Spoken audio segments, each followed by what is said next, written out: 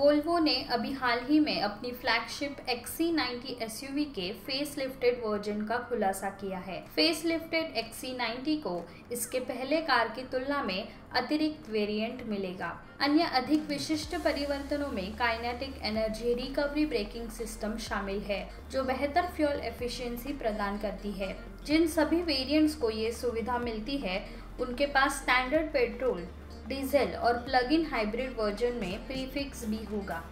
Design परिवर्तनों में नया एलॉय व्हील डिज़ाइन एक नया ग्रिल और नए रंग विकल्प शामिल है।